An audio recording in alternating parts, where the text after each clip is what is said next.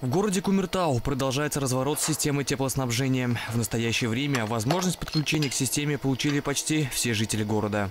Во всех домах запустили отопление, как бы у нас прошло отопление все в срок, все нормально, без каких-либо казусов. То есть, ну, сейчас отрабатываются заявки по ликвидации воздушных пробок, это частично уже в каждой квартире постоячно. А в целом запуск прошел хорошо. По информации теплосетей, в этом году в соответствии с нормативами отопительный сезон в городе начался 15 сентября. В первую очередь получили тепло объекты муниципальной бюджетной сферы – детские сады, больницы, поликлиники и учреждения с круглосуточным пребыванием людей. А с 4 октября началось подключение многоквартирных жилых домов. В многоэтажных домах начался пуск с 4 октября. Именно на нашем участке начался пуск тепла с 5 октября. В нашем обслуживании находится 42 жилых дома. И во всех уже дали отопление? Да, именно во всех домах дали отопление.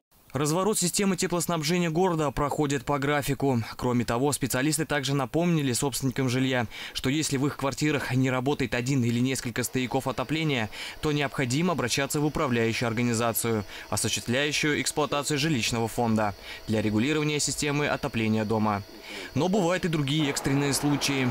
Так, по адресу Гуфри 28 во время запуска отопления произошел порыв тепловой системы. В некоторых домах, вот более старых, более ветхих, у нас происходит во время запуска порыв тепловой системы отопления.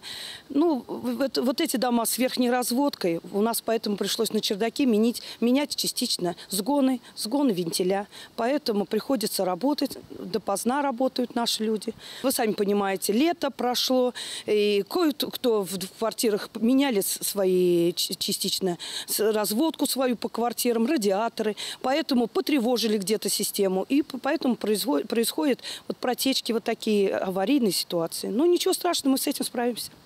Это не единственная проблема подачи тепла. Основная же – отсутствие жителей последних этажей многоквартирного дома. Хозяев таких квартир нет дома, из-за этого страдают соседи по подъезду. Но самая большая проблема – это попасть на пятые этажи наших жилых домов. Что вот когда мы производим запуск, мы все стараемся через все системы информации людям сообщать, что придите, кто живет на пятых этажах на это, и у кого стоят краны Маевского на системе центрального отопления, появитесь дом, в дом, домой, чтобы мы не разыскивали через паспортные столы, через милицию, чтобы э, пришли, спустили воздух, и соседям хорошо, и соседи довольны, и нам, как говорится, меньше забот и хлопот, и люди будут с теплом. Подача тепла продолжается. Осталось подключить к системе теплоснабжения административные здания и предприятия города. Константин Меркушев, Ярослав Кондратьев, телекомпания «Арис».